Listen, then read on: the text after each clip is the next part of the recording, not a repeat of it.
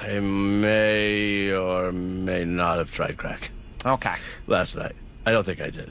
But if I did, I liked it. I want Griffin to sign the inside of my eyelids, so he's the last thing I see before I go to bed.